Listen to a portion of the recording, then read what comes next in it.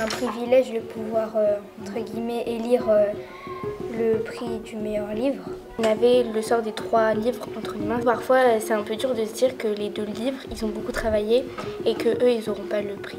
Déjà, on lisait des livres gratuitement. Euh, on a été invité euh, au planétarium de la Cité des Sciences. On a loupé des cours en parlant des livres. Moi, j'ai préféré les volcans parce qu'il y avait des illustrations, mais pas trop comme dans Estelle et Noé. C'était très détaillé, c'était bien expliqué. C'est le langage des oiseaux. Euh, parce que du coup, j'ai plus vu la démarche scientifique dans ce livre, ou comment ils se défendent grâce à leur chant. Moi, c'était Estelle et Noé. Donc ça m'intéresse parce que déjà, bah, ça m'a fait découvrir euh, plein de choses euh, par rapport au centre de la Terre. Ce qui m'a fait, fait rire, c'est qu'ils ont essayé de faire des gâteaux avec des pierres au début. Et ensuite, euh, ce, qui était, ce qui était intéressant, c'est que vers, vers la, vers la fin, bah, ça nous montrait leur avancée avec ce- cette échelle. J'ai bien aimé parce que c'était facile à comprendre, comme c'est en BD, c'est plus facile à comprendre que par exemple comme c'est quand c'est sérieux, qu'il y a plein de textes.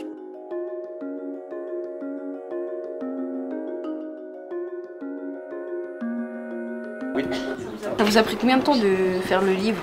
De 8h à 19h, on travaillait sur l'entreprise et puis après, on se retrouvait euh, pour travailler sur le livre ensemble. Donc ça a pris plusieurs mois. Est-ce que c'est pas difficile euh, en tant que scientifique d'expliquer facilement les choses? C'est plus dur. C'est plus dur, on est C'est d'accord plus dur. Mais en fait, euh, il y a quelque chose, euh, et je pense que Guillaume, tu seras d'accord avec moi, c'est que pour bien expliquer un sujet, il faut d'abord soi-même euh, peut-être avoir eu une difficulté à l'apprendre. Et du coup, on est plus à même d'expliquer facilement à d'autres personnes, vu qu'on va savoir quelles seraient les choses un peu plus compliquées. Pour moi, de la bande dessinée, c'est votre choix ou c'est le choix de l'éditeur Alors non, non, non, en fait, euh, est-ce que tu veux raconter euh, comment s'est passée la rencontre avec l'éditrice? Tu peux garder sous silence. hein. L'éditrice, moi je l'ai rencontrée à Disneyland Paris. voilà. On, a, euh, ouais, on, a- on s'est lié une, une certaine amitié et puis euh, un jour elle me contacte et elle me dit euh, Bah, Guillaume, je sais que voilà, tu travailles dans un labo, est-ce que tu n'aurais pas des contacts des gens qui, s'y connaîtraient en océanographie, euh, en géologie, parce que j'ai deux bouquins à, à écrire? Je lui dis Bah écoute, euh, oui, des contacts, voilà, je peux, euh, je peux te, te donner quelques noms, leur en parler, etc.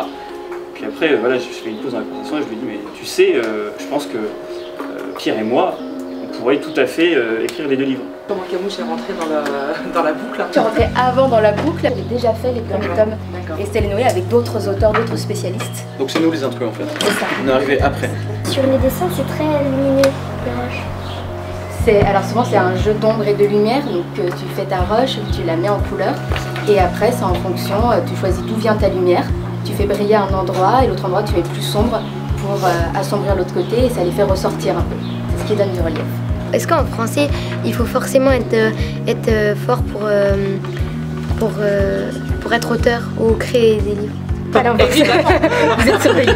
Alors oui, il faut avoir un bon niveau de français. Euh, moi personnellement, j'adore lire. J'ai toujours adoré le français. Après, ce n'est pas parce que je sais pas quel est votre niveau en français ou en sciences actuellement.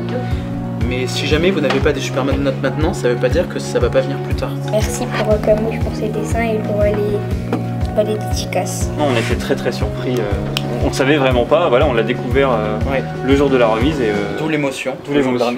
Euh, Avoir un prix pour un premier livre, c'est euh, c'est une sacrée chance. Et c'est grâce à un travail commun.